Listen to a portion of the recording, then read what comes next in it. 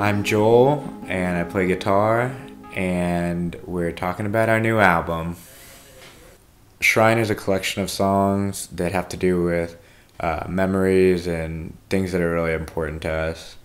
Shrine is 12 songs that have conflicting moods and patterns. It's like you're having a really good day and then everything just goes to shit and you feel terrible. But it's alright, I guess.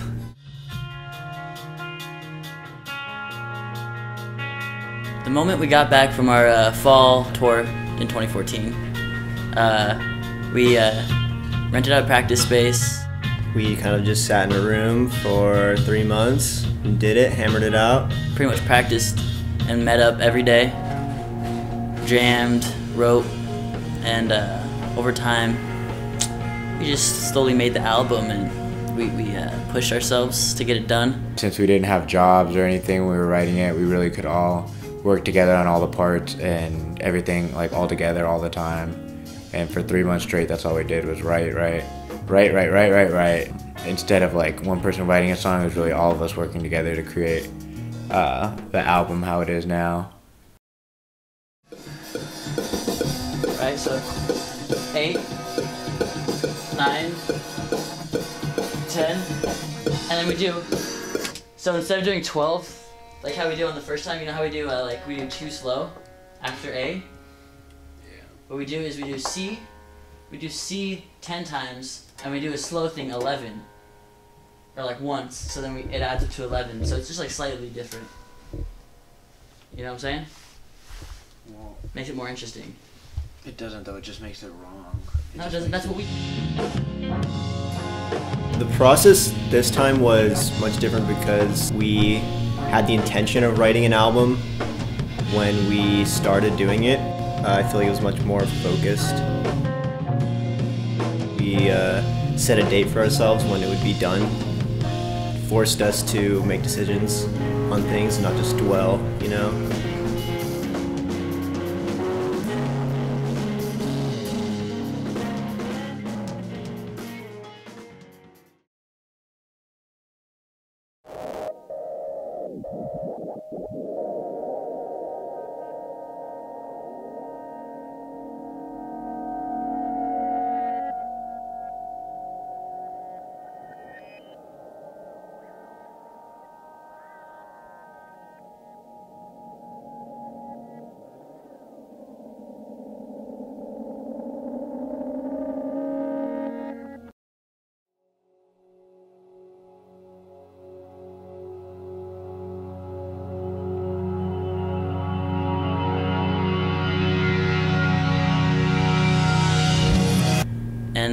Recording studio, Panda Studios, and recorded.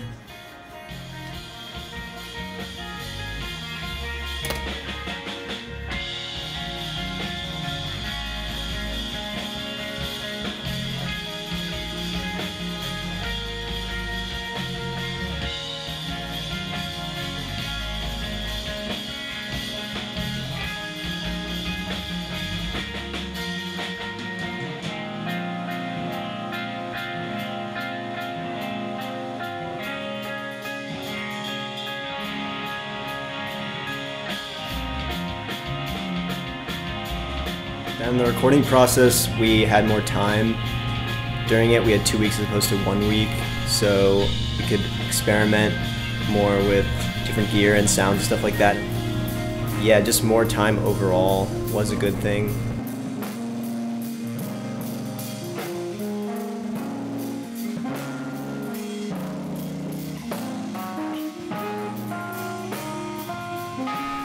The thing with being at a studio anytime is that there's one person that's doing something and everybody else kind of has to find stuff to do.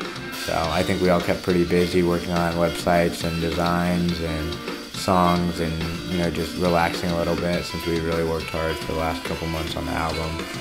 I ate quesadillas every day of recording and I I fucking regret it. The main difference between Shrine and Everything is Fine is I think Everything is Fine is way more upbeat. Shrine has I think more psychedelic sections, maybe more more happy sections, more instrumental you know, passages.